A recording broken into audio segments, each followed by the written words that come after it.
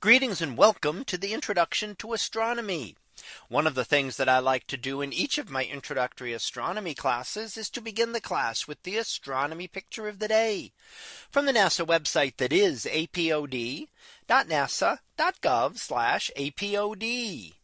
And today's picture for March 14th of 2023. Well, it is titled W5 the Soul Nebula.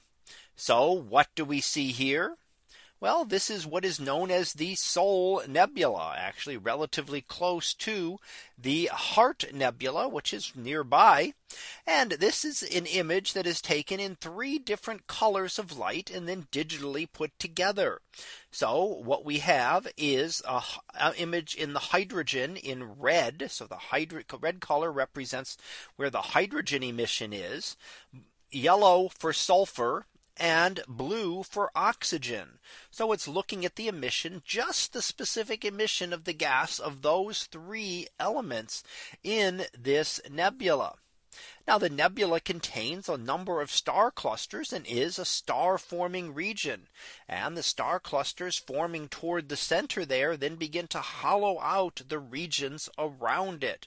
So it clears those regions out, leaving less material in the central regions and material toward the outer regions are stars still in the process of formation.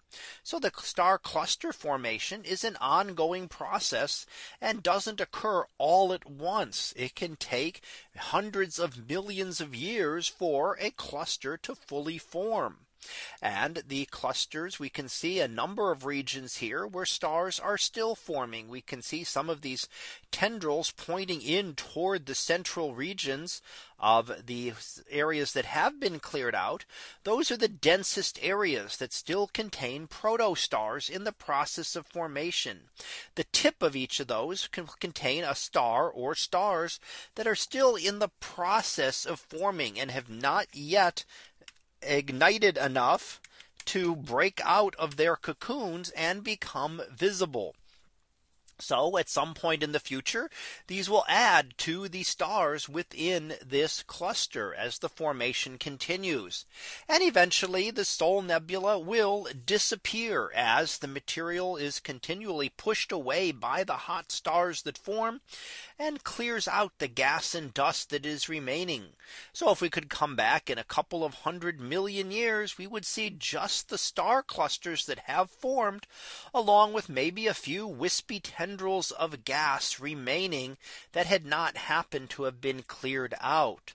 So the process of star formation in a galaxy like ours is an ongoing process and continues and has been going on in our galaxy for 10 billion years. So stars have formed across that whole time, leaving from time to time nebulae like this for a short period during that stage of formation.